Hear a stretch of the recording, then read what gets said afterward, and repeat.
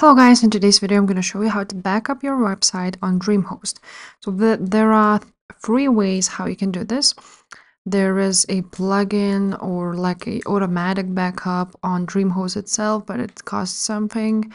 So when you go on WordPress and manage WordPress, uh, you will see here a managed WordPress hosting, which is called DreamPress and it automatically backups your website and many other things, but it costs uh, a little bit.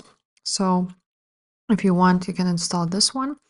Another way would be to go to your websites and to go ahead to your WordPress. Go to your plugins and add a new plugin and you will need to install here a plugin. Um, for example, um, Updraft is a good one. You can use it for uh, backing up your website and basically backup and restoration and migration. You can use this one and just install it and activate it. And uh, if you want to do this manually, uh, you will need to go ahead to your SFTP users and files for backing up your files and for WordPress database, we will need to use phpMyAdmin. So first of all, let's back up our files from SFTP. You will need to just download your files from this database. So we just choose the user you are using basically and click on this folder file. And you will see all of your files here now. And once you will see your files here, you basically just choose what you want to download, what you need. And like so, you just basically click on a file you want to backup and click download. And you will now have it on your uh, computer. So this is how you back up your files. Now to back up a database, you will need to go ahead to phpMyAdmin.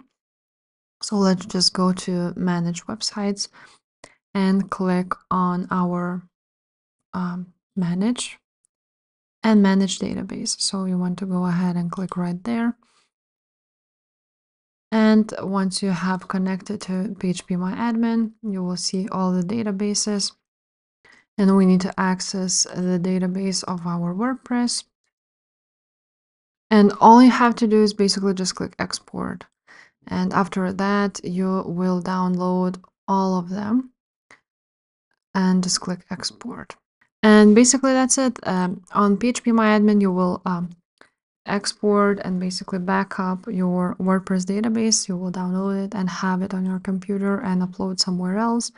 And for um, backing up your files, you will need to use this SFTP uh, file files. So if this video was helpful, please leave a like, subscribe to this channel, and I will see you next time. Bye.